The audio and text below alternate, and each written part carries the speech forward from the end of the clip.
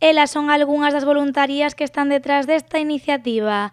Bigotes Felinos de Poio naceu co objetivo de coidar e protexer aos gatos abandonados do municipio, alimentando as colonias que existen actualmente no Concello e buscándolles un fogar. En Poio lo que hai é canceira, pero non hai ni gateira, ni, ni nada donde tener gatos. Entonces, claro, nos vemos en las situaciones de que a lo mejor pues encontramos un gato atropellado. ¿Y qué haces con ese gato atropellado? Nosotros por ahora no nos podemos hacer cargo. Lo ideal sería, pues eso, que en un futuro pudiéramos llegar a ser una asociación, pero claro, necesitamos, pues eso, gente que nos apoye en la causa y que se implique un poquito, porque también cuenta mucho la implicación ciudadana en todo esto. A implicación cidadá é fundamental para que esta iniciativa siga medrando. Unha das intencións deste colectivo é poder conseguir nun futuro casas de acollida para os gatos abandonados do Concello. Pero para iso é necesario a axuda de toda a veciñanza.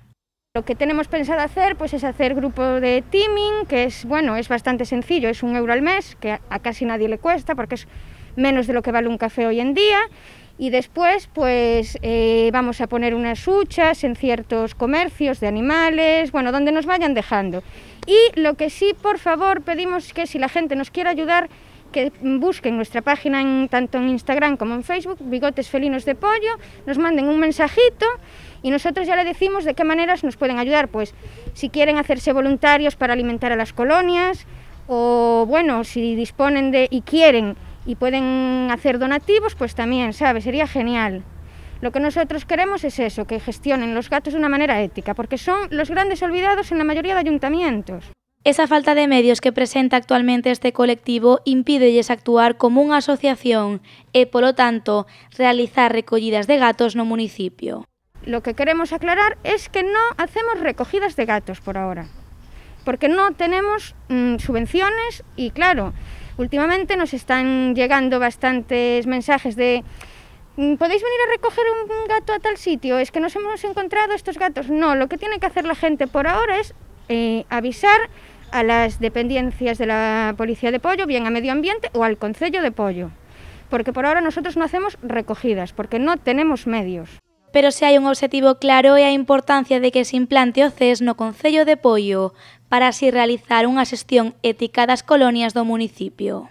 Con el método CES, eh, al coger, esterilizar y soltar al gato, tú lo que estás haciendo es que las hembras se al estar castradas no sigan criando, entonces claro, las, las, colonias no van a aumentar. Va a haber un control en esa zona de que, por lo tanto, va a haber menos mmm, roedores, menos peleas por el territorio y claro, menos crías. Y con esto también se consigue que outros gatos, por exemplo, no entren en esa zona.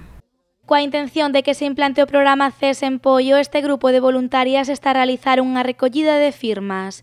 Todos os que queiran participar poderán facelo a través do Facebook deste colectivo ou achegándovos a algún dos comercios que colaboran coa iniciativa. En Pontevedra está, por exemplo, a mercería Fíos da Avenida de Vigo, a tenda hipermascota de Eduardo Pondal ou o comercio de Pequeñitos e Adorables. En Pollo podedes achegarvos tamén á cafetería Miami ou ao bar Arroyo.